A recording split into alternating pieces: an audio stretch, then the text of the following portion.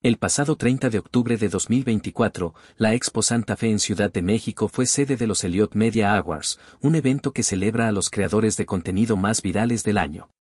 La noche estuvo marcada por premiaciones y momentos de alegría, pero también se vivieron episodios de tensión. Uno de los sucesos más comentados involucró a Melissa Robles, integrante de la banda Matisse, quien protagonizó un altercado con una fotógrafa. Durante su paso por la alfombra amarilla, Melissa, junto a sus compañeros de banda Pablo y Román, posaban para los fotógrafos presentes cuando, de repente, comenzó a increpar a una fotógrafa que se encontraba del otro lado de la valla metálica, pues la mujer habría tenido una actitud irrespetuosa hacia su equipo, situación que desató la confrontación.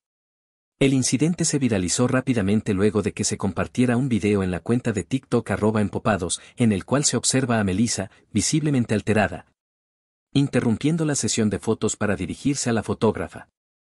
Oye. No hagas eso, faltas de respeto son faltas de respeto, no nos tomes fotos, expresó.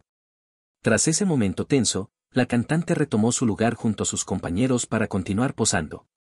Como era de esperarse el clip se volvió viral en varias plataformas, donde usuarios, entre ellos sus seguidores, comenzaron a preguntarse qué es lo que había pasado aquella noche, por lo que Melissa decidió subir un video en sus redes sociales para aclararlo.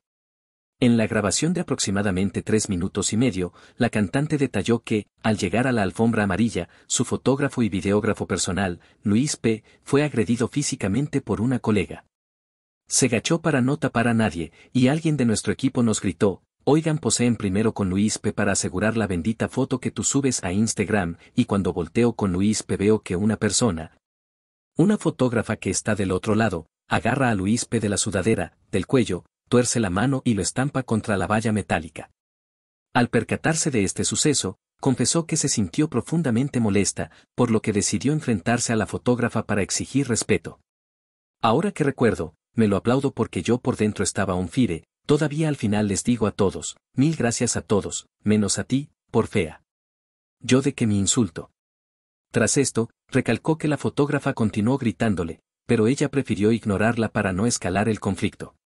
Déjanos tus comentarios y no olvides suscribirte y darle like, para más contenido.